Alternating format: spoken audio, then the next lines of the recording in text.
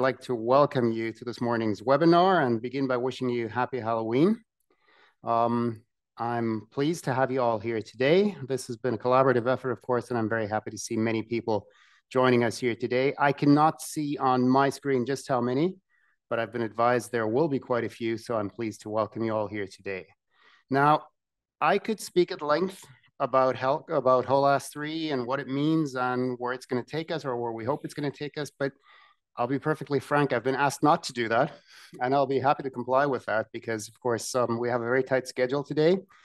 And in any case, um, in just a few minutes, um, we will have somebody taking the floor who's infinitely better placed to do that and who can explain it all to you. And that, of course, is Jannica Haldin. Now, I would like to say a few words, though, um, and I'd like to begin by saying that despite the date we've chosen for this webinar, it's not our intention to frighten you, let alone horrify you. But I think it's fair to say that this latest um, uh, assessment in a series of holistic assessments of the Baltic Sea does offer some cause for concern, because despite progress in some areas, we simply have to acknowledge that the Baltic Sea is not in good shape. It's not in good condition. Now, it's not all doom either. Um, this much is clear. I think we also have reason to be optimistic. And the reason for that is um, that we know a lot now. And if you uh, look at the program of, of uh, this morning's webinar, you'll see that theme of the panel is now that we know where do we go. And I think thanks to this um, holistic assessment, this latest holistic assessment, we know quite a lot more than we knew just a few years ago. And that, of course, can and will be the basis for informed action um, to protect the Baltic Sea and to improve the condition of the Baltic Sea over the next couple of years. And the other reason for optimism that I think we have is uh, that, in fact, um, we, um, of course, have the policy instruments at our disposal to do this. And I'm referring most notably, of course, to our 2021 Baltic Sea Action Plan with its 199 actions, uh, the implementation of which has now begun and will need to be concluded by 2030. If we do that, also based on the information we can glean from this holistic assessment, I think we have a good chance of uh, considerably improving the condition of the Baltic Sea and making good progress towards achieving good environmental status for the Baltic Sea. So yes, but this is um, a recurrent theme in one of our um, HELCOM presentations. Yes, but we've made progress, but we're not where we want to be. but we can be optimistic because we have a lot of knowledge and we have a lot of policy instruments at our disposal to make use of that knowledge. Now we need to implement. I think that is the key point at this point in time. Now, the uh, second thing I'd like to say, because I'd like to be very brief, is that as you know, this uh, report, this whole assist, uh, holistic assessment is the culmination of many years of intense effort on the part of staff here at the Secretariat, and of many, many people around the Baltic Sea, many of you as well. And I'd like to take this opportunity once again to thank everybody who has been involved and um, who's uh, contributed to delivering what I think is a highly useful and a highly remarkable report um, and a very helpful product in working towards achieving good environmental status for the Baltic Sea. And I'm getting a blip here on my screen, which you may possibly hear. I see there's 190 of you. So welcome to all 190 of you. Um, and um, I hope we're going to have a wonderful morning, a very inspiring morning. And with that, I'd like to hand over to our excellent moderator, Gun. Gun, take it away. Uh, good morning, and thank you very much, Rüdiger. So this was actually Rüdiger Strempel, who is the Executive Secretary of HELCOM speaking and giving us this nice introduction. Thank you. So my name is Gun Rudqvist, and I've had the honor and pleasure of being your moderator today. So I'll try to keep us on track and guide us through today's webinar. In total, one and a half hour. And we will first begin with a presentation of the report. And thereafter, we have some excellent panelists who will be discussing around the report. And then we will continue with a large and long Q&A session. So please, everybody, you can, meanwhile, during the, the presentations and the discussion, you can put your questions already now in the Q&A. And you can also vote on the questions, so the most popular ones get picked up. And we will, of course, do our best to try to answer as many questions as possible. But with that, I hope we will all have a very fruitful and interesting discussion, no doubt, and we will get right on to the program. So I would first like to welcome Jannica Haldin. You are the Deputy Secretary General of HELCOM, and you've also been the lead of the whole HOLAS 3 process, the large work and long work with the assessment. So you will now give us an overview and a highlight of what's in this amazing report. So please, Jannica, the floor is yours. Thank you very much, Gun. I will share with you a presentation that will take you through uh, some of the key results from the assessment and also share some information on what the assessment is for those of you who are not familiar with it uh, and give you some key information that provides context to how the results, um, where the results come from and, and how we have been working. So uh, we're here today to uh, launch the official launch of the State of the Baltic Sea report. Uh, and uh, the State of the Baltic Sea report is the summary report or the culmination of the third holistic assessment. So we go through uh, what is HOLAS. Uh, we'll look at the results in brief and also look at uh, the next steps. As Rüdiger mentioned, it's kind of now that we know, what do we do? Kind of questions. So about HOLAS, uh, as Rüdiger briefly mentioned, uh, the Baltic Sea Action Plan uh, is the instrument that HELCOM uses to kind of set the scene for what measures are needed uh, in order to improve the status of the Baltic Sea.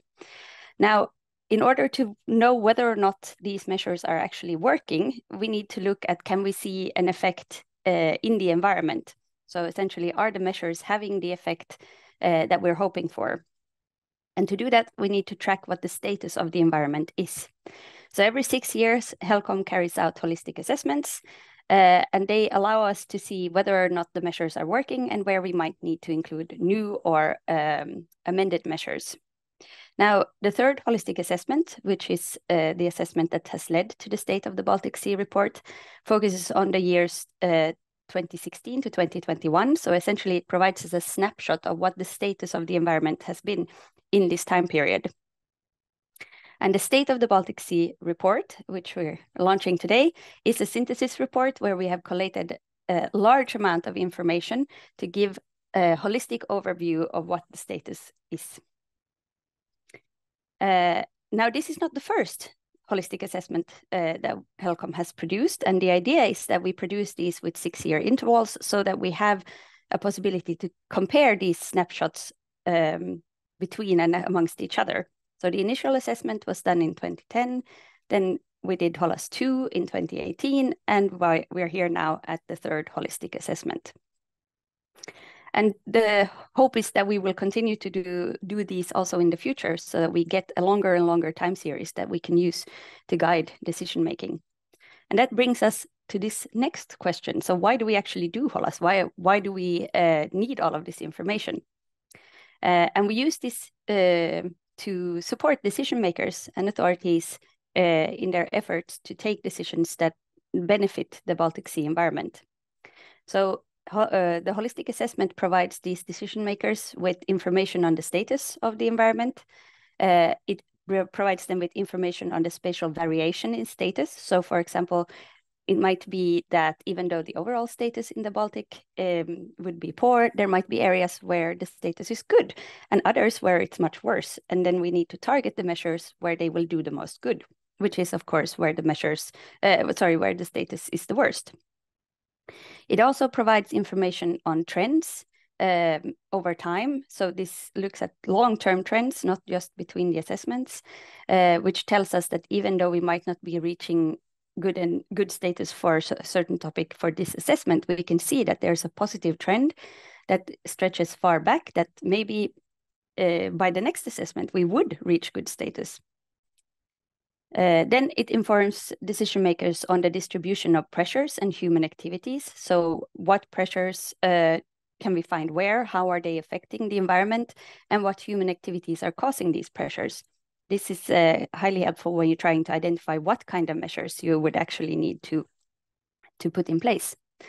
And it allows us to follow up the effects of the measures and also um, the results of the assessment and, and the components of the assessments um, are made available so that uh, the countries can use them for uh, national reporting on the uh, Marine Strategy Framework Directive.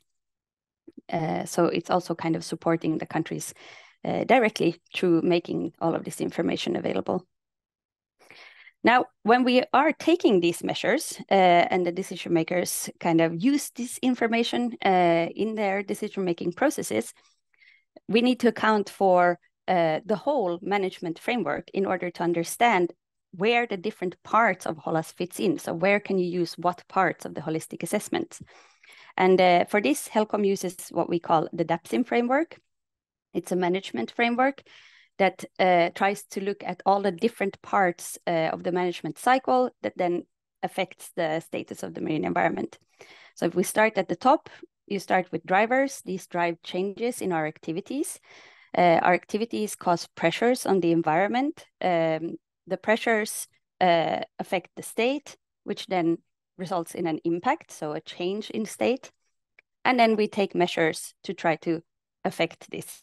Uh, and the measures primarily target the activities, the pressures, and the state, with uh, the measures targeting activities having clearly the, the highest kind of success rate because it's easier to target a pressure before it becomes a pressure while it's still an activity rather than try to fix it when it's already a, a problem. And this has worked as a guiding, uh, the kind of red thread through the whole holistic assessment. So for each topic in the holistic assessment, we've tried to address as many of these as possible. Uh, the information for these different components of the DAPSIM framework varies quite a lot depending on the topic. But uh, this also indicates where we might need more information or do more research for the next assessment so that by the next assessment, we would have better information available. Now, different uh, users of the holistic assessment need to use different uh, parts of or different components of the assessment. So it's set up so that you can access the information at whatever level makes the most sense to you. We provide data, then on top of the data, we make the indicator evaluations. So we have a large number of indicators I will show you later. Uh, these indicator evaluation results go into indicator reports the indicator reports are pulled together to do topical assessments, for example, biodiversity, hazardous substances, and so on. And these are pulled into thematic assessment reports where we group all of the themes uh, or all of the topics under one theme, for example, biodiversity. Uh, and all of this is pulled together into the State of the Baltic Sea report that we are here to launch today. And you can access this information at whatever level makes the most sense for you. Um, substantial process. uh, a lot of the work goes into development. As you can see here, the development phase has run all the way from 2019, so just after the end of the uh, holistic uh, second holistic assessment. Uh, once the development is over, we start collecting the data that we know that we need in order to drive the assessment.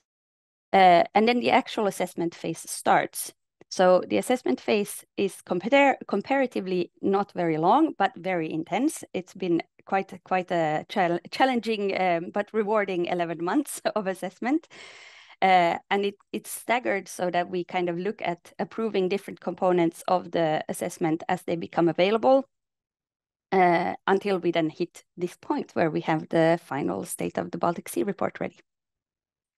And then we work on the publication. So we publish these uh, as they become available, making them um, yeah, making them available to decision makers as soon as they're ready, rather than waiting and publishing all of the material in one go. Now, um, HOLAS is quite a big uh, assessment. We have five thematic assessments. We have 59 indicators. Overall, we had almost a thousand experts involved in the work. Um, we have addressed in the last 11 months almost 3,000 comments received on the various reports. Uh, and, and this also kind of helps to build a very robust assessment.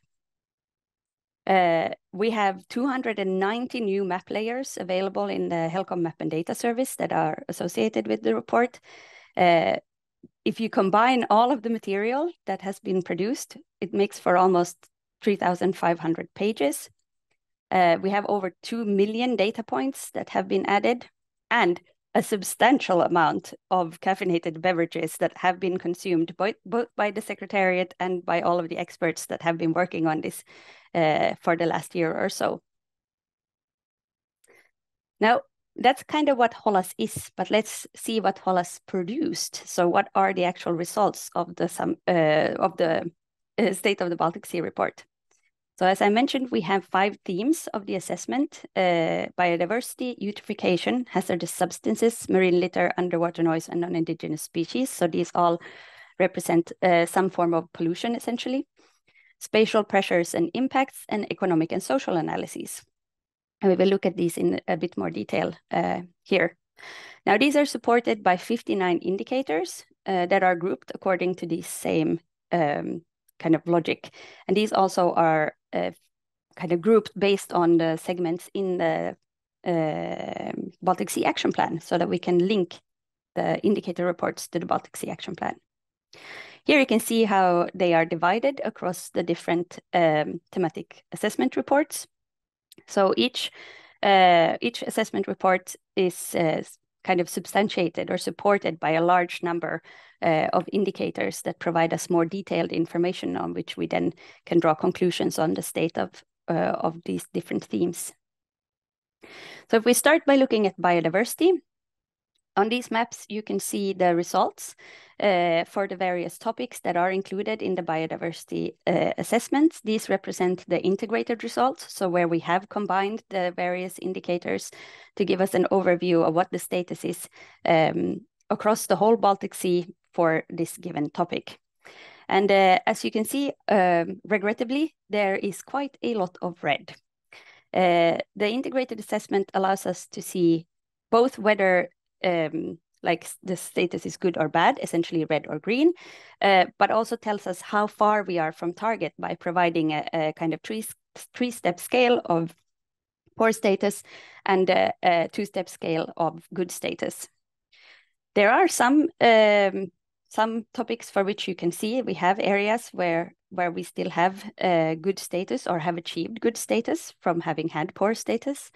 Um, and uh, for many of these even though the situation uh, looks to be quite dire, we can see um, positive trends or vaguely positive trends where measures have actually been implemented. But overall, the status for biodiversity is quite poor, and this is also the topic where uh, change in status takes the longest to kind of appear when we put measures into place, because this is the end point of where the measures effect will be shown. So for pelagic habitats, we do not have good status in any of the open sea subbasins. For benthic habitats, uh, we generally do not have good status in the southern Baltic, but there is good status in the open sea areas uh, in the northernmost subbasins, so where we have the least impact on seabed. For fish, only four out of the 15 assessed commercial stocks actually have good status, uh, so that's not a very high percentage. Uh, waterbirds overall do not generally have a good status. Here it varies a lot based on the functional groups, and you can find that information in the actual thematic assessment. Uh, for marine mammals, they do not exhibit good status uh, in any kind of uh, part of the Baltic Sea, um, but many of these are, are assessed at quite a high level because they are such mobile species. For food webs, we can see major changes in the abundance and biomass of species, um, and these are driven then by human activities uh, and the pressures that stem from these. And we can see these changes across all of the food web. Now for hazardous substances, marine litter, underwater noise, and non-indigenous species, uh, we can see that the status for hazardous substances is quite poor. We have red in most areas um, because there are so many uh, hazardous substances that we assess. You can see that that um, the pie chart show the kind of proportion between the the different um, like status categories across across the different um, contaminants. For marine litter, uh, the vast majority of the Baltic Sea ends up in poor status. For this, we do not have an integrated assessment yet because um, there is not sufficient uh, indicators available to do proper integration. Uh, and there has been no kind of methodology developed for integration yet. So this is based on an indicator assessment, which means that it only tells you whether it's failing or achieving. We can see how far we are from target. Then we have underwater noise, uh, where you can see that there is significantly more uh, noise in the southern Baltic than there is in the northern Baltic. And for non-indigenous species, where you can see the overall introduction uh, rate all the way back from 1860, uh, actually. Uh, and uh, this should be zero in order for this um, this indicator to reach its uh, target. So you can see that it failed because we do have a number of introductions in the last six years. So to summarize hazardous substances, the majority of the Baltic Sea is in bad or poor status. However, we can see decreasing trends in concentrations of several of the substances. So we can see that measures are working. Uh, for marine litter, uh, 11 out of the 16 subbasins do not have good status. And for underwater noise, um, the, it's below threshold for marine mammals, but it exceeds the threshold for masking, essentially what stops uh, or can can interfere with uh, hunting for fish in nine out of the 17 assessment units. And for non-indigenous species, because there was introductions of non-indigenous species in the last six years, it is failing its threshold value.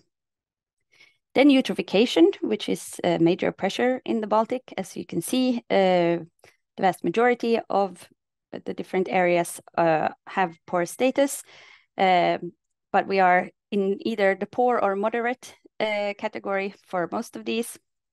There are fewer areas that are in the in the bad uh, category.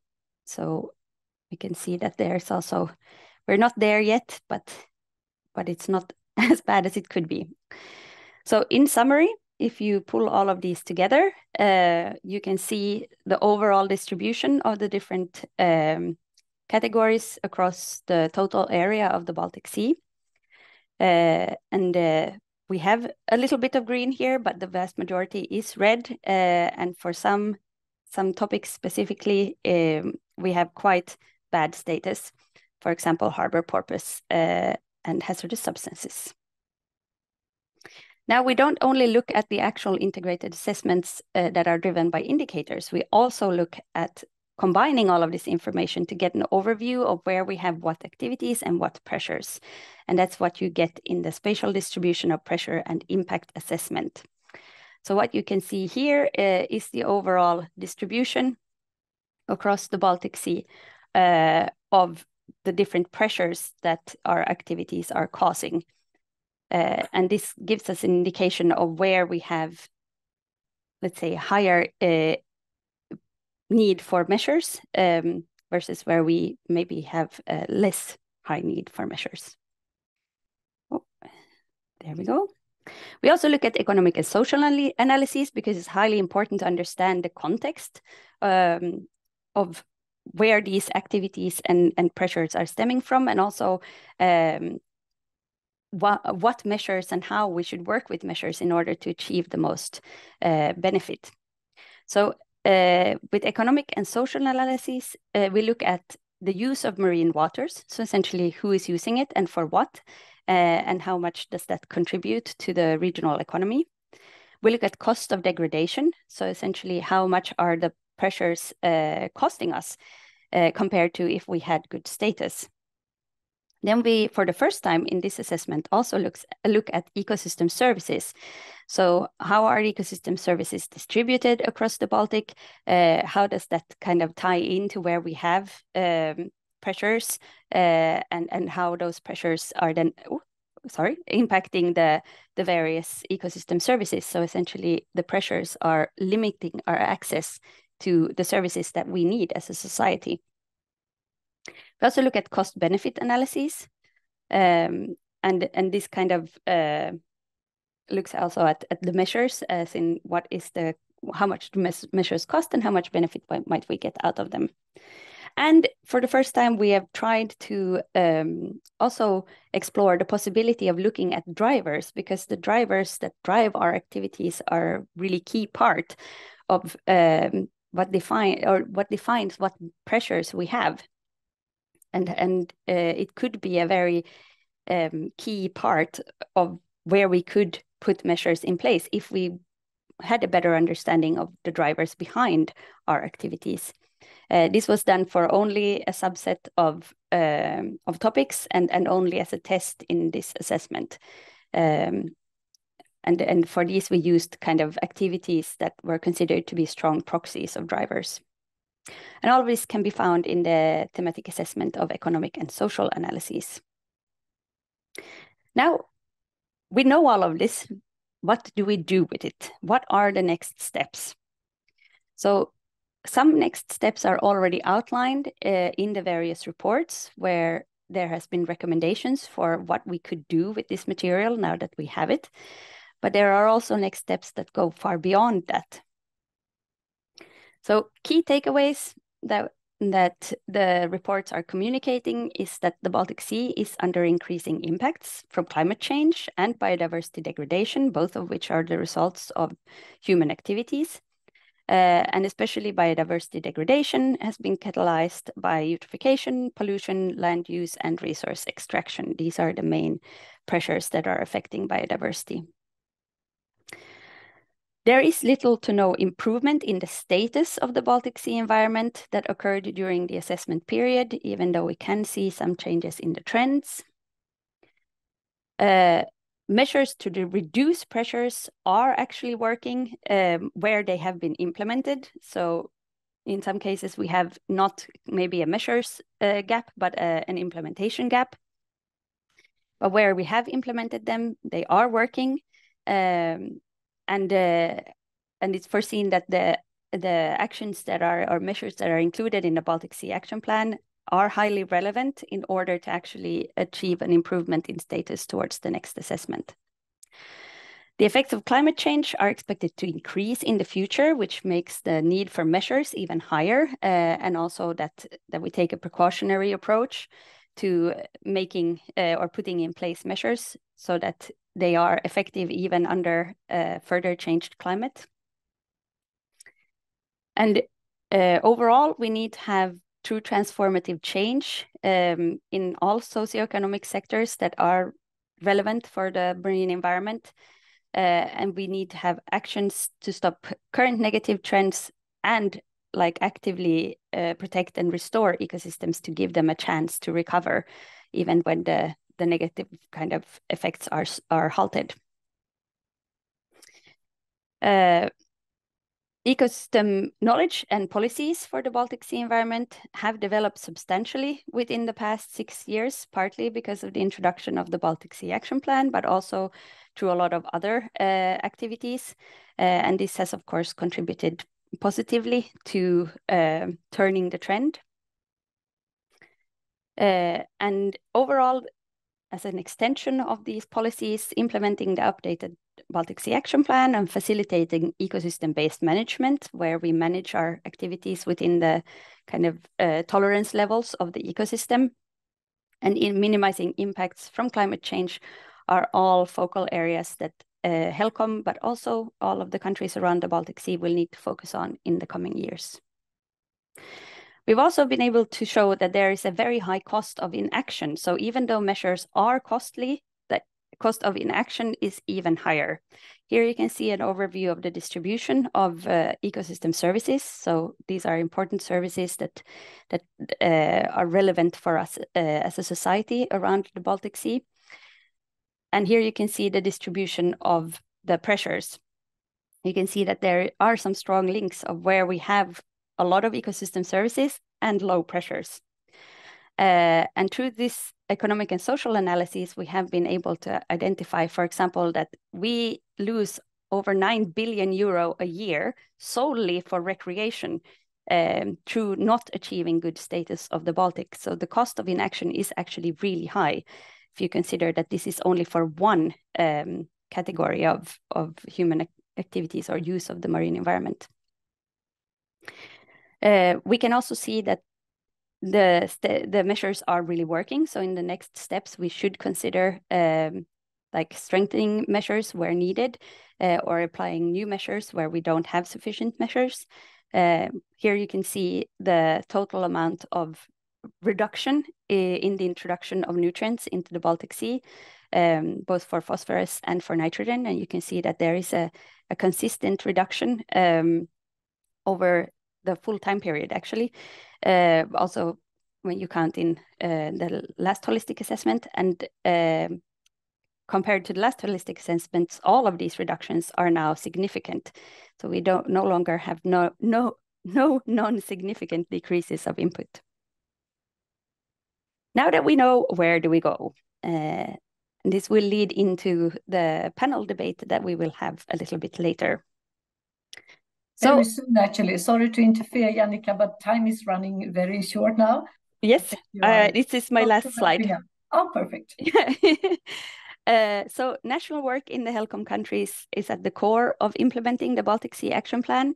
So uh, it is for the countries to really kind of ensure that they put the measures in place so that we can see improvement towards the next assessment.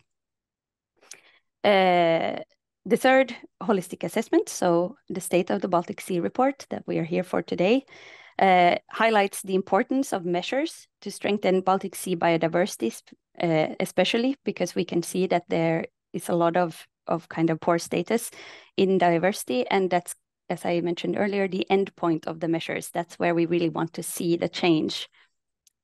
Achieving a healthy Baltic Sea ecosystem requires measures that limit the extent and intensity of uh, human-induced pressures, but we also need these measures that that actively protect and restore species where the degradation has already gone so far that that either recovery takes too long or it isn't possible to recover to previous state. Then there's an urgent need to equip the Baltic Sea ecosystem uh, with the capacity to withstand climate change in the future. And this essentially uh, translates into improving resilience. So resilience of the ecosystem is a key component if we're going to um, kind of withstand the effects of climate change. And now in HELCOM, the next step is to incorporate all of this information, all of the results that we have uh, and the data behind it into these uh, ecosystem-based management frameworks and, and promote uh, sustainable use of the Baltic Sea. Thank you. That is all for me. Thank you, Jannica. Um, I don't seem to be able to put on my video. Could please the technician do that so I can still see, you can see me when, when I want to ask Jannica some questions. Um, yes. Great, thank you, thanks a lot. This is such an immense work and such an overload of information. It, I think it was really interesting that you left us with some keywords, you know, the cost of not doing anything, the importance of implementation, and just the fact that if we don't do anything, it's going to get worse. But it's also really to the point that we need to do something rapidly. Was there something that really surprised you when you went through this work that was different from the previous ones? Was there something that you think, oh, this was, you know, an ex- surprise maybe? Um, I think uh, part of what was surprising to me is is that this assessment has it's like improved from the last one, which is the way it's supposed to be. Like the more information we have, the better the assessment results should get, the more reliable, let's say, the assessment results should get. And uh, one of the things that I think was quite surprising for me was that when we did the overall analysis of impact of different pressures uh, on the environment, um, we actually came out with that the ma major, like the main or highest pressure um, and high, most highly distributed pressure on the environment isn't actually eutrophication uh, for this assessment, it's hazardous substances. Uh, and what do you mean? How? But everybody talks about the fact that eutrophication is there, and you're still pointing it to the poor status. What What do you mean by that? Uh, well, eutrophication is still a major pressure in the Baltic, and these are really closely tied together. But uh, like hazardous substances and eutrophication, uh, both kind of have pole position. But uh, because of the improvements that have been made in the hazardous substances uh, assessment, We mm. have a, a, possibility to incorporate far more data than we had in the past, uh, which makes for a more reliable assessment. And that assessment then shows that hazardous substances are possibly a bigger pressure than we have assumed that it is in the past. So it's not so much that eutrophication uh, has become less important. It's that another pressure has has kind of taken uh, or share pole position now, uh, which indicates that maybe there there is a need to look more closely at how do we put measures in place to handle hazardous substances because more data and, and a better assessment has shown us that this is a bigger problem than maybe we have initially thought. Yeah, right. So you, what you're actually saying is that uh, we learn more about hazardous substances, and by doing that, we realize how severe the problem is. Yes. I'm sure we'll get back to this during the panel, and you will also join us again for the Q&A session. So by that, thanks a lot again, Jannica, and we will dive directly into the panel discussion based on what Jannica has presented. So let me welcome my uh, colleagues here at the panel. First, we have Dominic Pattinson. You are the Executive Secretary of the OSPAR Commission. And as everybody here probably knows, OSPAR is the mechanism where 15 governments and EU corporates to protect the marine environment of the Northeast Atlantic. And OSPAR has also recently launched their own sort of HOLAS uh, quality status report, but we'll hear more from Dominic about this. Uh. And then we have uh, Johanna and Fox, uh, also based here in Stockholm, like I am. You are the director of the WWF Baltic Ecoregion program.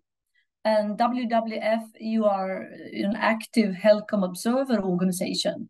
And you have a background in marine biology, I happen to know. So well, welcome to you as well. And then we have Lone Munch Söderberg, who is the Danish head of delegation in HELCOM you work as head of team in the Danish Ministry of Environment, Nature and Biodiversity Unit. And you also are trained in bi marine biologist. So please welcome Lone. And then last but not least, Michel Sponar. You are the deputy head of unit at the European Commission, DG Environment. And your responsibility include marine environment and water industry, and including also Marine Strategy Framework Directive. So welcome to all of you, and we are so glad that you can join us here. And now we have uh, some minutes, uh, almost 25 minutes, to talk together and discuss your impressions and your reactions and your thoughts about what to do with this fantastic information in the in the HOLAS assessment. So let's start by just hearing a few words from all of you how do you plan to use these these results? Are there already things coming up in your mind? So maybe can I start with you, Lone, who represent the ministry in this perspective? How can you use the HOLAS report? Yes, thank you very much, Gun. Um, from a, a, member state perspective, um, please allow me to first start by congratulating the HELCOM Secretariat and all the experts uh, and uh, the whole HELCOM community that have uh, contributed to this report. Uh, this is indeed a very comprehensive and impressive report. So, and I also agree with uh, what uh, Yannick had presented so nicely, that the report delivers a strong message to us all that the Baltic Sea is not in a healthy state. So I think that the results, they clearly indicate that we need to continue our joint work in, in HELCOM and also highlights the need for taking action and implementing the Baltic Sea Action Plan. So that is, of course, uh, an important use of the report. But uh, we will also use the report uh, nationally. Um, all EU member states are obligated to assess the status of their national seas and we will therefore use the HOLAS report as the backbone of our national uh, status report.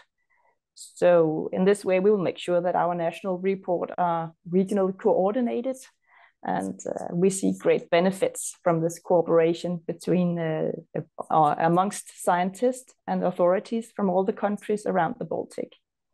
So, um, so, yeah. so would you say that the report is you know, applicable for you both at a national and a regional level? Or is it mostly at your national level you can use it? No, definitely both uh, both uses. It will be of great value in HELCOM, especially for communication purposes, the summary report. Um, but also nationally, we will use all the all levels of the HELCOM report um, for our national status assessments. Thank you. And Dominic, uh, from your OSPAR perspective, is this a similar report to your own sort of quality status report? Yeah, th thank you, Gun, and uh, good morning, everyone. Yeah, I think it's still good morning. It certainly is here. Um, yes, yeah, I mean, there are, listening to, to Jannica's um, excellent presentation, uh, I could see lots of similarities uh, as I think uh, it was mentioned previously, um, we published our uh, OSPAR quality status report, which is the equivalent of, of the HOLAS 3 report for OSPAR uh, a month or so ago.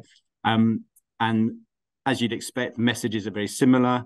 Uh, I think Rüdiger's uh, introduction at the outset, where where he explained that you know there is some good news, but overall the message is quite um, quite bad that the the status, particularly of the biodiversity uh, status in the OSPAR region, is isn't good, and that is despite the fact that we have put in place measures.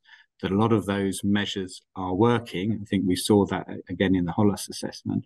Uh, a lot of those uh, assessments are working, but it's still not having the impact that we would all like it to see. And ecosystem services, biodiversity is still suffering. Uh, so there is more to do. Um, I think what's really useful, and and again, as as Lone said, con congratulations to the to the HELCOM team. Uh, I know from our perspective how much effort and work goes into producing these assessments, and this is a, another fantastic uh, product. Um, and I think what it shows is we already have a lot of uh, overlap between OSPAR and HELCOM. We share contracting parties. Um, and we can learn from each other. So in terms of how we will use the, the HOLAS 3 assessment is look to see uh, what, what HELCOM have done, uh, how can we learn from that uh, in OSPAR. Um, I've already been sort of going through the report and, and listening to Jannica's presentation this morning, thinking, oh, that's a good idea. Maybe we should be doing that in OSPAR. Um, and it will be vice versa. We already have shared groups. We will learn from each other. Our experts sit in similar meetings.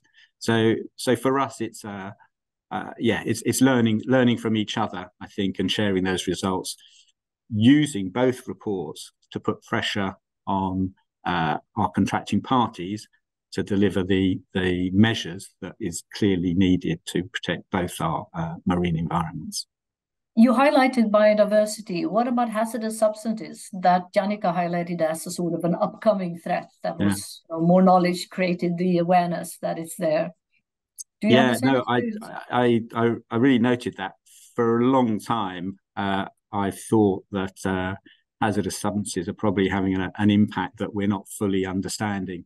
Um, so it's really interesting to hear Jannica sort of uh, say that that is one of the findings they found uh, in HOLAS 3. I think in our assessment, we noted that um, we're very good at sort of banning things, so stopping things from getting into the marine environment. But with hazardous substances, uh, a lot of them tend to stay there. A lot of them tend to accumulate. Um, they get uh, resuspended when you have activities that disturb the seabed. Mm. And yeah. I think there is definitely something there in that cocktail of chemicals that ends up in the marine environment that we perhaps don't fully understand yet. You're right. Yeah, I'm sure we'll get back to sort of the possibility of knowing what you actually end up there with, you know, the industry's uh, openness, etc. But we'll probably get there. Johanna, please let me turn to you. You represent here sort of the NGO perspective. What are your views on the HOLAS report? How can you use it within your sector?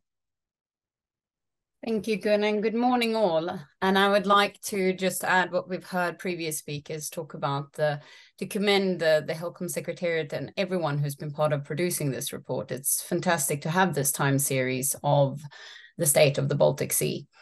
And from an NGO or environmental organization perspective, from WWF's perspective, I think one of the main take homes from this from this report is what we've heard today. We measures work when they are implemented. And I think this is a, a, a, thing that us as we are observers to HELCOM, um, we, we uh, act as watchdogs for policy implementation. That's probably how I see that we can use this report is to put pressure on contracting parties to start implementing measures. They work, but they need to be implemented. And um, we also know from the implementation of the previous Baltic Sea Action Plan that only 25% of national measures were implemented. So I think it, it's also one of those, it, it's not surprising that HOLAS 3 comes out showing this way, where we haven't been implementing measures where we should have. So that's how I see it from our, our perspective is that we we will use it to put pressure on contracting parties. We can use it for communication, but also informing our own work where we are in the field uh, restoring uh, coastal areas of the Baltic Sea, but really uh, ensuring that we act where it can have uh, impact. So what you're saying is that it can be used as a leverage for action also. Was that the same experience from the previous HOLASes? You've probably been involved with that as well. Uh, absolutely. We have used the previous HOLAS, uh, HOLAS for the same purposes. I think what, what this one really shows and what I like is that it's very concrete of the cost of inaction. Uh, the cost of ecosystem services that are currently uh, for free. Mm. Uh, I think it's uh, it says in the report that's 10.5 billion uh, euros per year is what we get from free service of sequestering nutrients by underwater plants and algae. That mm. something if we continue on the path of, of degraded ecosystem, that's a service that we lose. Um, so the cost of inaction is really high, and we need to really start acting now and putting more measures in place. Yeah, thanks. We'll get back to action, I'm sure. Um, Michel, from the European Commission perspective, how can this be useful for you? What do you plan to do with it from your perspective? Well, thank you and good morning to everybody. I, I would like to uh, also really praise this report. For us, it's it's a kind of model. Uh, it's really a fantastic product, and I think that there are a lot of things that we can, you know, learn from this report.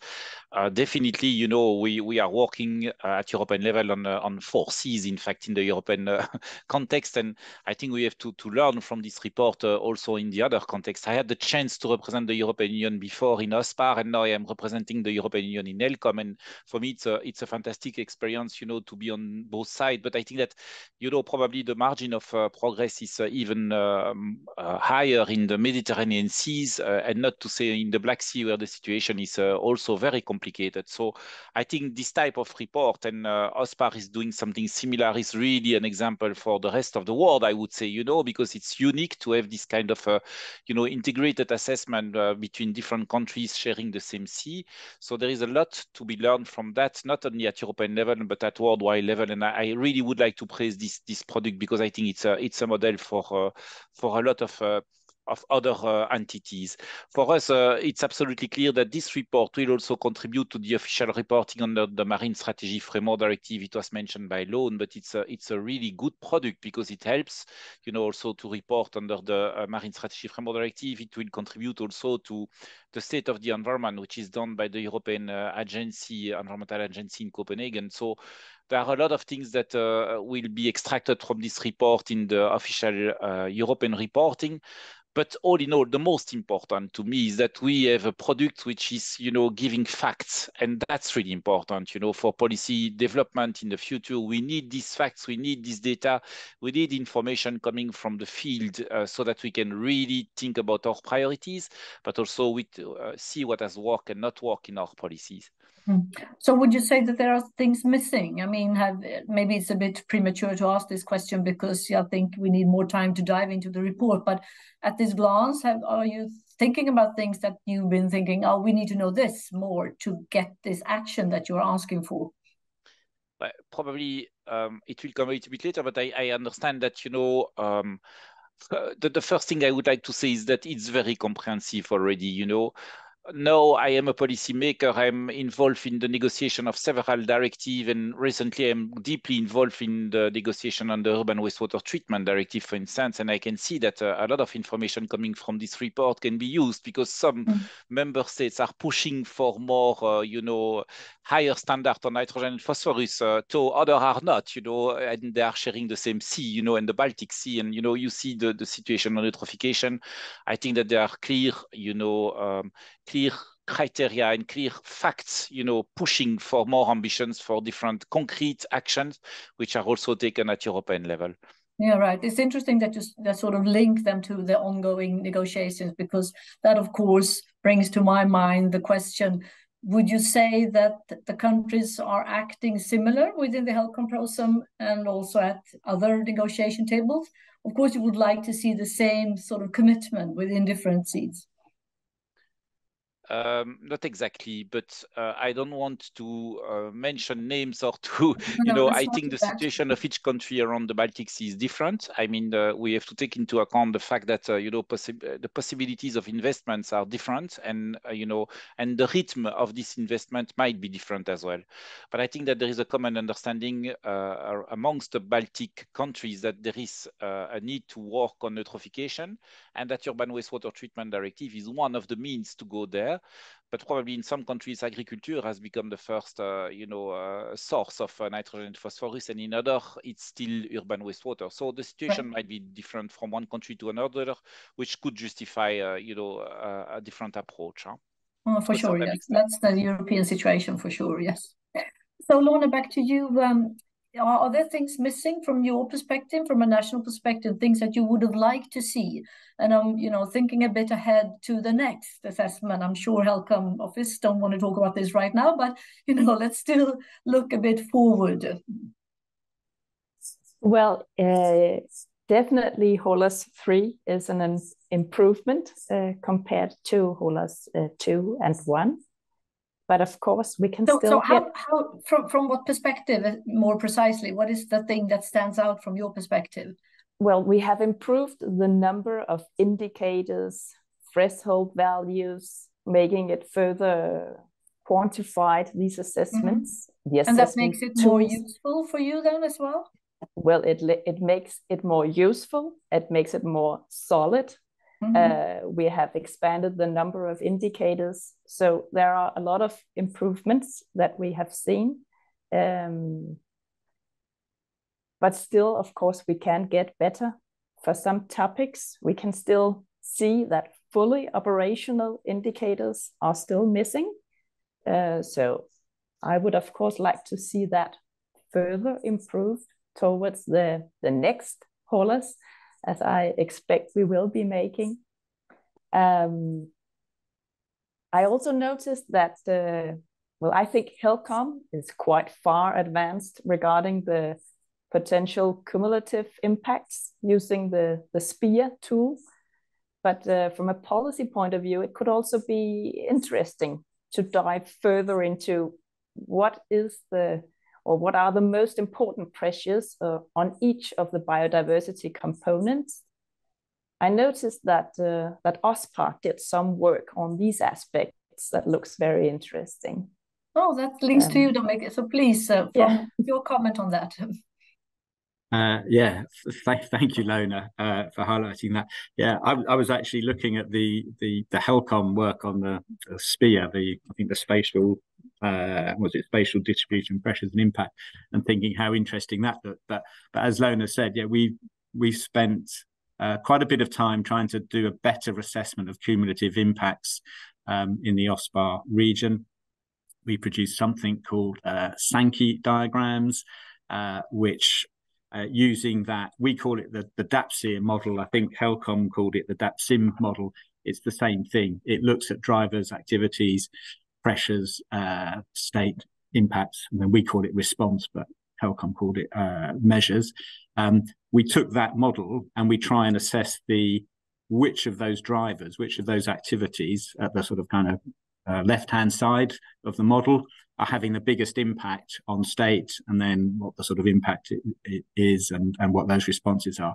Um, it's we would be the first to admit it's still work in progress, but as Nona said, understanding what are the most important drivers and activities in terms of their impact on state um, is really important so that you can then focus your measures on those drivers and impacts. Um, uh, yeah, we've in our assessment, we sort of shown the sort of progress we've made on that, but it's it's really tricky stuff. I think we shouldn't underestimate how complicated the marine environment is and understanding those relationships between drivers, pressures, going back to that kind of what is the effect of hazardous substances, that cocktail of uh, chemicals in the sea and how that's impacting on biodiversity is, is really tricky stuff. And a lot of the science is at the cutting edge uh, of, of, of, marine science. So even if it's uh, sort of, as you said, work in progress, are there things that you can say about drivers? What would, what did you see? Were the things sticking out that was interesting? Uh, as, I said, I wouldn't, and we made it clear in the report. I think it's probably too early to sort of okay. be able to rely on those those uh, Sankey diagrams to to really be definitive. Um, mm-hmm. But you know, there are obvious pressures on the marine environment, uh, human activities. Fishing pressure is is, a, is certainly in the in the OSPAR region, uh, or in some of our regions, it's uh, is a big pressure. Uh, nutrients, climate change, uh, is is a, big. But, right. So it's all the common ones, really. Yeah. Yeah. What about the NGO sector? That, again, then going back to you, Johanna. Um, for the next assessment, I mean, you were definitely stressing implementation for sure. Would you, can I be blunt and say that maybe we know enough and we don't do enough? Is that what you're saying? Yes, yeah, I think so. That's exactly what I'm saying.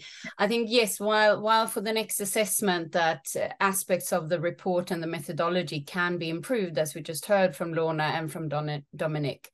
However, the most important thing is to actually implement measures. And that's what I would like to see in the next report is that we see even more concrete measures that have uh, uh, given proper results in the Baltic Sea itself, that we actually are bending this curve, the negative uh, trajectory of the state of the Baltic Sea.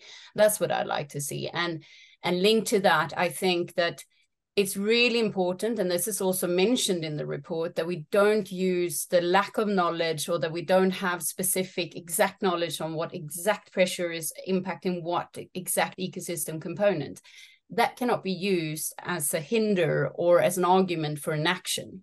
We must really focus on measures that we know are working. We know that by uh, implementing marine protected areas, uh, using um, no-take zones can restore uh, local fish populations. We know that reducing nutrient runoff by better agricultural practices, by better water retention measures on land has an, a positive impact on eutrophication. We need to scale up these measures.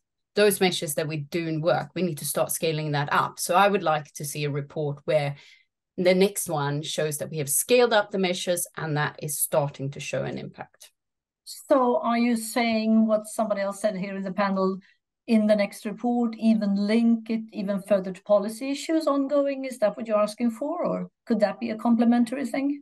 Absolutely. I think that could be a complementary thing um, um, and linking it to i think for for the next report if it is to be informative also looking at what measures should be put in the short term. What can have the short term positive impacts on the environment and what are the measures that we need to put in place but that take a little bit longer time to see impacts. It is in the report but it can even be more concretely um, communicated.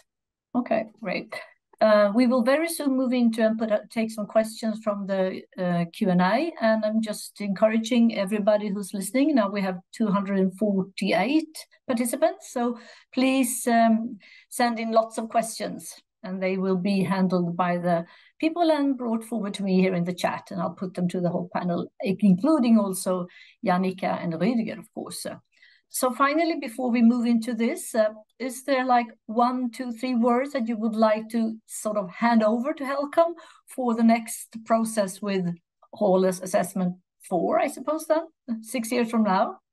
Dominic, what would you like to see? Uh, uh, thanks, thanks, good. Um, yeah, I, I was just thinking what I could say. Um, I wanted to sort of really follow up on what Joanna was saying uh, about um, we kind of know what the problems are We just need to put the measures in place. I say just, it's, it's not just. I know it's difficult, but I think we do know enough uh, about what the, the main um, pressures are, the main activities are. Um, we, we need to get better at identifying the right measures that allow for sustainable use, but at the same time protecting the marine environment, protecting the ecos ecosystem services that the marine environment provides. So, on a sort of slightly more positive note, then I think I think both reports do show that measures can work. So that's really encouraging. Um, we need to find the right measures. We need to apply them over a larger geographical area. We need to make sure that they're implemented. Um, and I think just to reflect that in OSPAR, some of the conversations we've been having on the back of the assessment is actually we're pretty good at assessment. We do it well.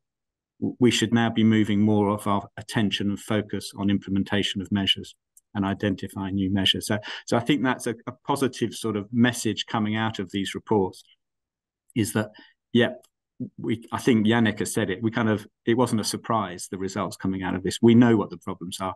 Let's try and work on uh, effectiveness and implementation of measures. Uh, some of the existing ones probably need longer to take effect, but we also need to identify new ones um, and make sure they're implemented. Yep.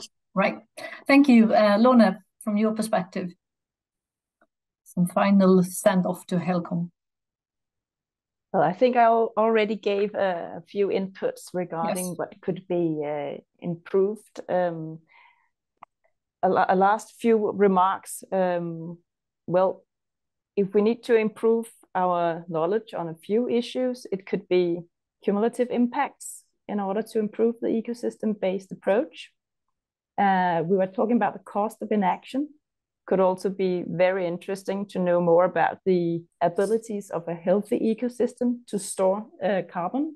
Mm-hmm. Uh, but with that being said, uh, that is uh, not an excuse for for inaction. So let's continue with the implementation of the Baltic Sea Action Plan, and uh, as these uh, status assessment will also be the backbones of the national status assessments, the HOLAS report will also influence the measures that we will initiate nationally. Thank you. Thank you. Thank you. And Michelle? Um, you know, I, I think I have a, a lot of uh, wish for the future and particularly as policymaker, you know, uh, to have more information on what has worked and not work in the measure, you know, uh, a mm. clear identification of the future challenge. I, I, mean, climate change was mentioned, but at the end, you know, we have to translate that into measure that could be taken and at the right level. You know, that's also another, uh, you know, difficulties.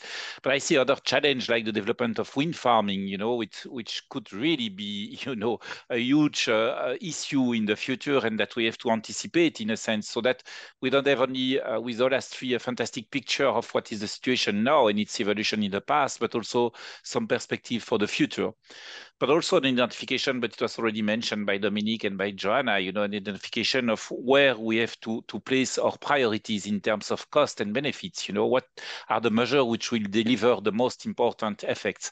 Having that said, I know that it's fantastically complicated that, you know, the evaluation is really difficult of the different tools. It takes a lot of time because we are doing that at European level, uh, you know, when we are reviewing some directive, we are forced to make an, evalu an evaluation of these directives. And I know that it, it could take a lot of time. So I think that uh, for us, uh, probably we have to focus on key priorities and keep really the, the um, factual aspects as really important. I mean, this report must remain something scientifically uh, credible, you know, and uh, really very solid uh, in terms of uh, a collection of data and scientific assessment. That's really important. But, you know, this link with a policy measure is also important. And otherwise, this, this report will remain, you know, only a picture of the situation, you know. So all the two aspects are important uh, for the future uh, for us, for me. Thank, Thank you. you. And last, Johanna, you already stressed the implementation aspects. Anything else that you'd like to send off? Well, I, I, I will sound like a, a, broken record that I will say implementation again, but I would really like to stress. I mean, from a HELCOM perspective, regional collaboration is is really important. What these reports do show, uh, but we also need measures at a national level. But linked to what what Michelle uh, spoke about and and what we've heard before. Oh dear, we're losing her. Ah, we had a technical problem. We've been lucky so far. Ah, well, now you're back, Johanna. We just ah, I'm back. Sorry, yeah, that was that was that was the stop of what I said there at the end. Yeah. that was. We got it. Thank you very much. Thanks so far, uh, the panel, and thanks a lot for giving us strong messages and your very interesting views. You will still hang on, but let's move in some question to take some questions now, and we will also then welcome Jannica back and also Rüdiger. And I'll just dive directly into questions. And I'll start off with a question, who's actually from a colleague of mine at Stockholm University here, um, which reads the following. How are nutrient loads included in the pressure index? And uh, Berbel says that she's a bit surprised to see that the pressure index is low around major river mouths. I suppose this goes to Jannica then, if it's possible to answer. Yes, thank you. Uh, so the nutrient loads are included through the layer, uh, the spatial layer that we have from for eutrophication. So it's essentially the integrated uh, assessment results from the eutrophication assessment that is included in the in the uh, spatial pressure and impact assessment. Uh, so that's why you can't see uh, direct effects, for example, around the, the river mouths because the eutrophication layer is uh, integrated to the sub-basin level. So you get the the effect is distributed across the whole sub-basin where that river mouth kind of empties into. Uh, this is part uh, of what Lone mentioned that we could do further improvements on the on the spatial pressure and impact and uh, assessment so that we would get higher levels of precision uh, within that by using more and, and more precise uh, data layers as the input. Uh, but it requires further development of the tool as well in order to be able to do that. And it's something that we are actually already uh, working on towards the next assessment because these analyses aren't used only for HOLAS. in HELCOM, they're also used for other uh, or have other use cases, for example, for for um, marine spatial planning and so on, especially the activity layers. So. So, so you're, you're more or less saying that it's a question of data quality and methods and not a fact of neglecting that there is a high level of nutrient levels. Yeah, so, and in this case, mostly methods because we do have pretty good data on the nutrient inputs. It's more of a how do we incorporate that data in in the SPIA model. Um, like more precise data on the nutrient inputs can be found both in the thematic assessments for eutrophication and in the PLC, the pollution load compilation report, which is uh, for, which we also have quite a recent um, publication. Right. Thank you. And I think that this next question also must be directed to you, Jannica. Um, there was a talk about minimizing the climate change impact on the environment. And the question is if you could please elaborate, what that, does this mean? Or can you give some examples what you were thinking and writing about when you talked about minimizing? Yeah, so uh, I, I, briefly touched on this right at the end of my presentation, but uh, we're not we're not going for some kind of like geoengineering solution here, but it's more about uh, enhancing the resilience of the ecosystem. So we have pressures that are easier to manage uh, on a regional level or on a local level, and those which are not. And climate change is one of those which aren't easy to manage uh, on a regional level. So if we put more focus on managing our activities and the pressures that they cause where we can actually affect them, then that kind of releases more resilience in the ecosystem to then take on um, like pressures that we can't manage, like climate change. So if we remove activities that are causing pressures, then that enables the ecosystem to have more resilience against other pressures. Because of course, um, at any given moment, the Baltic Sea ecosystem system experiences a multitude of pressures. So if we remove some of those, then hopefully that will help improve resilience against climate change as well.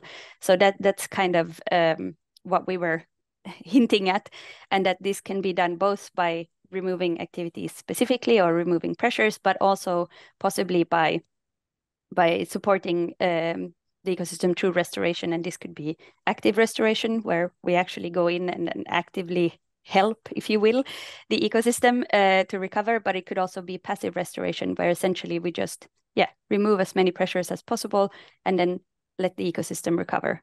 Okay. Thank you. And then Can there's I, a question. sorry, could I just come in on that one? please, of course. yeah, Thank Of you. Yeah, no, I just wanted to um, support Jannica on that because we've, as you'd expect, we've had a very similar conversation in in OSPAR. OSPAR doesn't have a mandate to tackle sort of emissions reductions and things like that, and there's lots of policies and you know countries are, are, are dealing with that. But as Jannica says, we we have we we in OSPAR as well. We've got a much bigger sort of focus on climate change than we used to have. We now have a new climate change and ocean acidification working group. We've got our most sort of uh, sort of comprehensive assessment of climate change and ocean acidification in in our QSR this time round, um, and it's looking at how we can improve the the resilience of our marine environments. How can we support those habitats to deal with the inevitable pressures that climate change will bring? So uh, yeah, I just yeah, as I said, I just wanted to show that we are joined up on these things across sort of regions and we have similar approaches and i think that's really important because it sends the, the message. So we can use our evidence reports to go away to other policy colleagues sort of that are dealing with climate change to show the impacts of climate change. And then we can do what we can to try and uh, uh, improve the resilience of the marine environment to those impacts as well Thank you. This links nicely to the next question, which is put to all of you panelists. Uh, What are the most important measures to implement now? Who wants to go first? Lone, what will be most important from your perspective? Well, from my perspective, I would like to highlight what I see as, well, the crown jewel of the HELCOM work, and that is the nutrient reduction scheme. Um, the entire Baltic Sea continues to suffer from too many nutrients. Good progress has been achieved uh, in relation to reduce our nutrient inputs, but in some areas the reductions have uh, stagnated or even increased. So I think we should increase our efforts in order to reach the maximum of allowable inputs and the national input ceilings. Okay, thank you. And Johanna? Thank you. Um, I, am going to take a, a step back from the actual measure here and say that we need to ensure that there's a funding available for the measures that we need to see, whether it is implementing marine protected areas or restoring coastal coastal areas or restoring uh, areas on land, or what we heard Lone say, the, uh, ensuring that we meet the nutrient reduction scheme. Um, we need funding for this. It, Okay. it comes at a cost and a lot of funding linked to the Baltic Sea, whether it's EU related, national funding, and so on, often calls for innovation. And what here we, the polluter pays principle? um, if that one was fully implemented, then definitely that could work. But we need funding. There needs to be money uh, available for this, and not just looking at innovative solutions, but actually just scaling up what we know works. Okay. So what about, uh, Michelle, your perspective then on the most important measures to implement now? I, I just want to comment on what Janet just said. You know, in the review of the Urban Wastewater Treatment Directive, we are trying to include the polluter pays principle. Well, in fact, I think it will pass, but it's difficult. Uh, so, uh, you know, we, we are trying to push standards for pharmaceuticals and cosmetics, you know, in the uh, wastewater for micropollutant because they are representing the most important micropollutant font in, in urban wastewater. And so the intention is to make uh, industry pay for this additional treatment, which is required in the uh, wastewater treatment plants. And that's uh, very complicated, but I think that we have, it's an example of uh, additional funding that we should try to uh, further explore, because if we are always waiting for, you know, public funding, uh, progress are slow and uh, could take time, and there is no this sense of responsibility, uh, you know, between industry and uh, or the use of some products and the, their impact on the environment. So I think that new ways of funding should be explored. For the rest, I think that um, I agree with this idea that we need to implement, uh, you know, better what we have already decided, you know, and that's and pay more attention to that. I mean, I have some example. The biodiversity strategy includes the 30% of protection of uh, our seas. That should be put in place with a strict protection of part of it, uh, at least of 10%. We have we are taking measure also uh, on agriculture, and there was a question on the common agricultural policy. Uh, all that, the intention are there, but what is lacking is really the actual implementation, the concrete implementation, and I think that on eutrophication, urban wastewater treatment will follow and uh, efforts will be done, and that's easy to monitor and to implement in a sense, or at least to track, you know whether on agriculture the efforts are more complex because it's individual entities and it's very complex and, and, and also, I mean, it's a, a sector which is more uh, difficult. On okay. hazardous waste, I think that uh, we, we, are working on REACH, but also under the review of the Industrial Emission Directive. All that needs to be implemented. That's that's probably my main message, so, you know. And so, so many things that we've already decided that needs to go there. What about the, from the OSPAR perspective, which would be the most important one to start off with? I think Rüdiger had his hand up actually. Oh, sorry, I didn't see that. Yeah. Sorry. Yeah, we'll, I'll let we'll Rüdiger go first. A few words, a few moments. No, no worries, um, Dominic. You've been asked a question. Go ahead. I'd, I'd like to make a more general statement, actually. So um, please go ahead. Take the floor. I was hoping I could pass the buck there, really.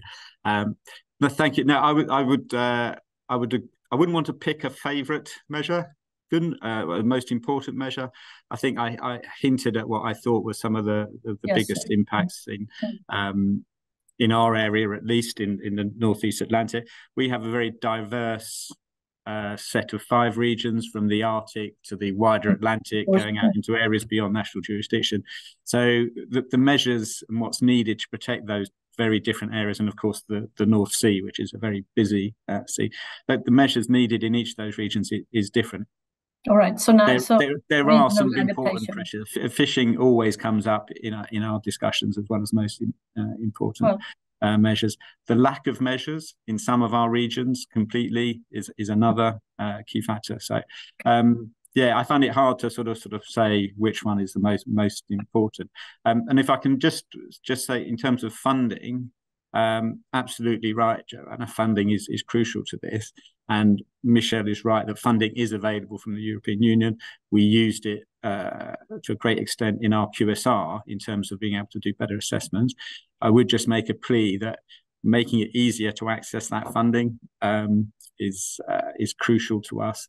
The amount of resource and effort it takes to secure uh, project funding is quite significant for a for a small secretariat. Thank you. Thank you. Uh, Rüdiger, please.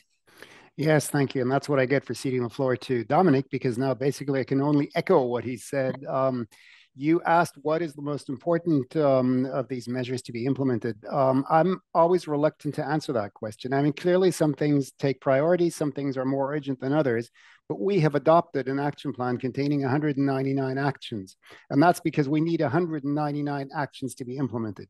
Now we have different different timelines for some of them. Some, some of them will have to be implemented sooner than others. But the main point I'd like to make is that we need to implement all of them. We did not manage to implement um, all of them in the uh, 2007 action plan, um, and I think we need to improve on that. So if there's 199 actions, let's work to implement 199 actions. And yes, Dominic said that, Johanna said that, and I agree.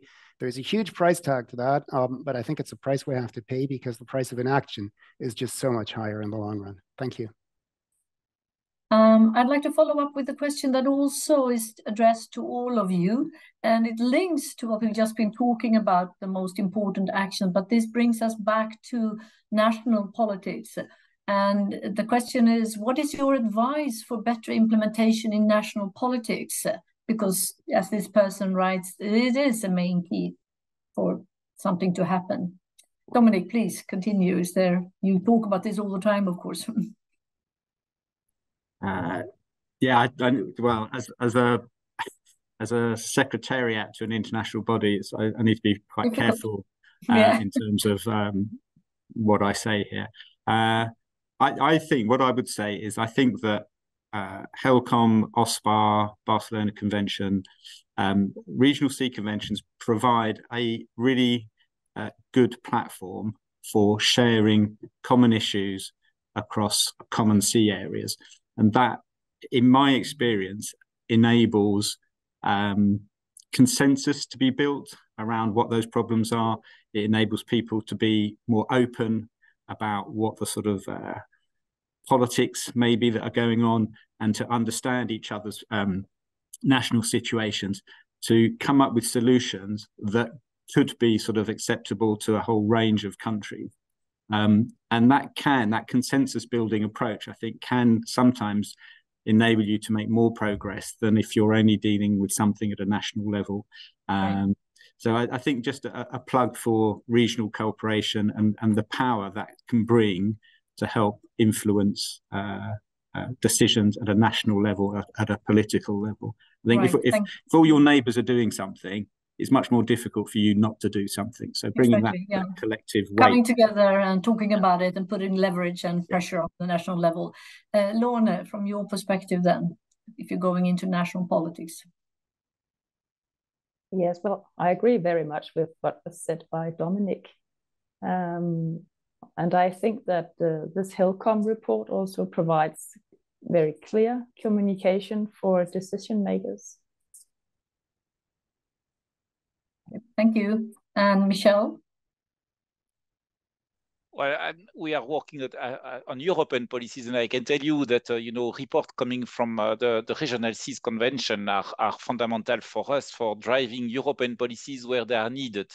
I was mentioning, you know, REACH, for instance, we, we, which is hazardous substance and restriction of hazardous substance in products that is really a complement and that should act in synergy if these products and this hazardous substance are found in the seas like it is shown on HOLAS 3, it's a clear signal for us to ban some product or to restrict the use of some product uh, at source.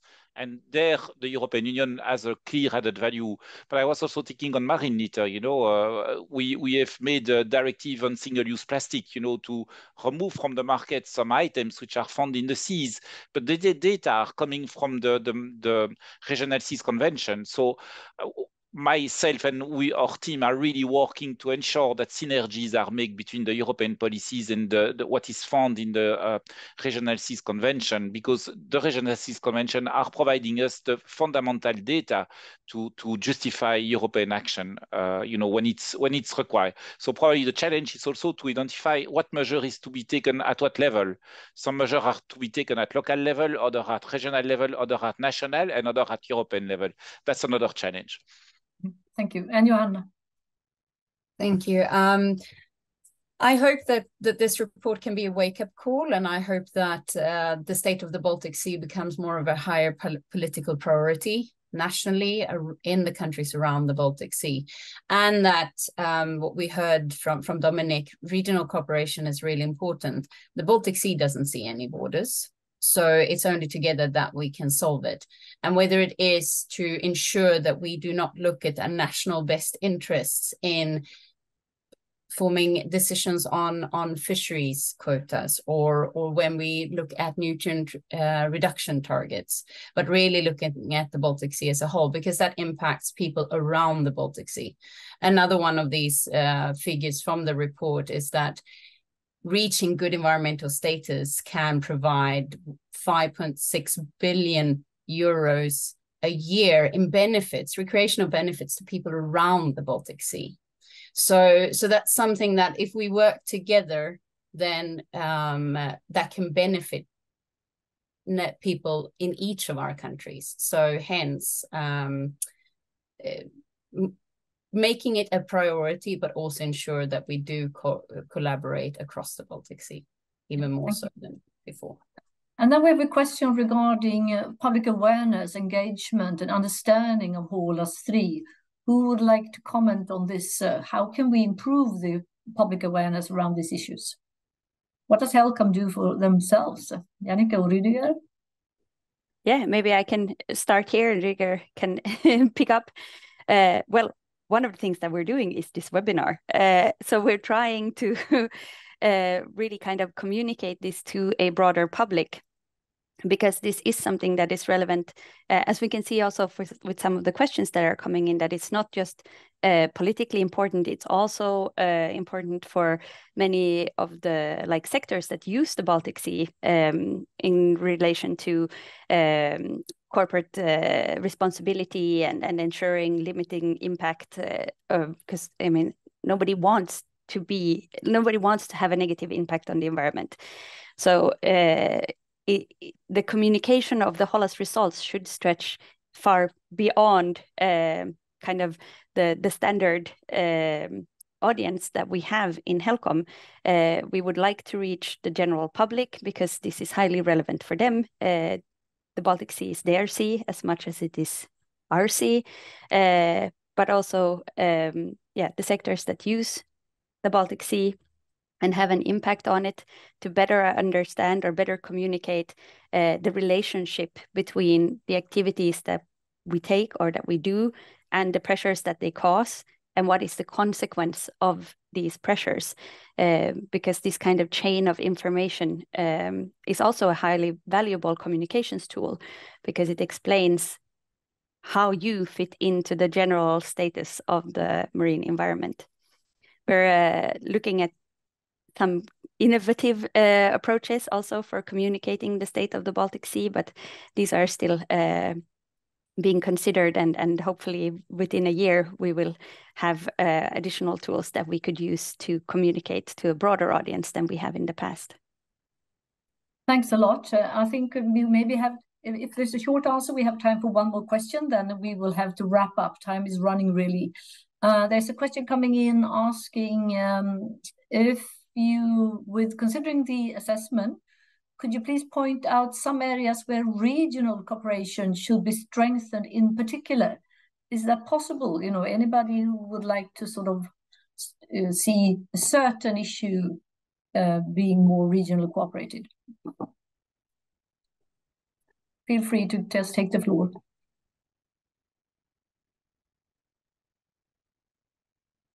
I might jump jump in, Gun. Yeah, please, please do. Mm. I think that something that was brought up by Michelle and what on a pressure that or could be a pressure that's sort of in in the future, and that's around offshore renewable energy. Um, I think it's really important to ensure um, proper cooperation across the Baltic Sea countries when trying to meet these energy targets so that offshore renewable energy expansion does not become this added pressure to the Baltic Sea, but can work in rather in its favor. But in that case, we have to work across countries because um, otherwise, um, like I said previously, the Baltic Sea doesn't see any borders. So neither should we in trying to plan offshore renewable energy that can enhance biodiversity rather than having a negative impact. Yes, thank you. Uh, Jannica, you get the final word. Yes, uh, I think a similar topic to what Johanna brought up is protection efforts, because all of the countries are putting efforts into protecting the marine environment and, and specifically like marine protected areas of different types. Um, but because these protection efforts have historically been handled by each country individually, even though they make part of a greater puzzle where all of the, the protected areas essentially could be supporting each other, then this is an area where I think there is quite a lot of uh, like positive progress that could be made to really make sure that we get um, we get the benefits out of the protection that we are hoping for. And because a lot of these areas are already put in place. So it, it requires quite minimal efforts to to kind of possibly get quite a lot of gain out of the already established areas. And all the countries are working towards reaching the 30% protected areas or 30% protection for the whole Baltic by 2030. It means that for many of the countries, significant expansions are planned within the next uh, coming years. So figuring out how to best place those new areas so that they get benefit not just for their own uh, protected areas, but for the protected area network in the Baltic is really of key importance. Uh, it can really enhance what we could get out of the efforts that have already been put in place. Right. Thank you ever so much. And thank you all to all you who sent in questions and thanks for participating. And thanks, a warm thank to all you panelists. I will now give the wor word to Rüdiger for a wrapping up of this webinar. Please, Rüdiger. Thank you, Gun. Thank you very much. And um, I actually think this webinar is a bit too short because there are so many things I would have liked to say and wasn't allowed to say today. But that's why I'm especially happy that we have such a great panel, which said most of what I wanted to say for me. So thanks to the panelists. Um, and thanks to all of you for participating. Um, I'll be brief. Um, I think it's clear that we have a consensus around this table and probably also around the entire virtual table as to the usefulness of the information we can glean from this report and the usefulness of the information um, that is contained in this report. Um, what I find encouraging, though, is the conclusion we draw from that, because of course, if you have a lot of information, you can fall into a number of traps. One is to engage in continuous navel gazing and try to glean more and more information, provide, create, provide, generate more and more information, and basically um, revolve around yourself. That would be disastrous, of course, in our case. And then um, I was reminded, those uh, of, of, you who know me well know that I'm an avid reader of comics of all sorts. And one of my favorite comic characters is Calvin from Calvin and Hobbes. And I was reminded today when Jannica said that we realize now that eutrophication is not perhaps anymore the primary pressure, but we actually know that hazardous substances have at least, um, uh, well, basically are, are now um, uh, joining um, eutrophication in, in the pole position.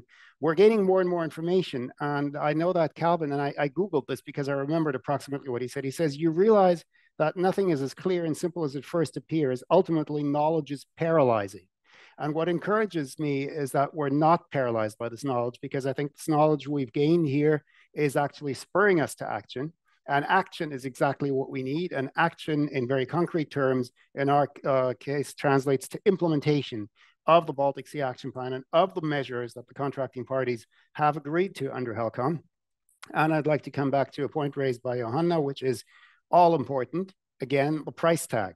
This will require a lot of money but we need to invest that money if we don't want to be in a position in a few years' time where we have to inv invest even more money. So I'll leave it at that. Um, but I'd like to say a few um, practical words um, to, to uh, the audience. So this report and all the related documents will be available as PDF downloads online on our website, stateofthebalticsea.helcom.fi. Um, all the HOLAS 3 products will be there, indicator reports, status, maps, and so on. So if you'd like to, to actually have a closer look, um, you will find it all there.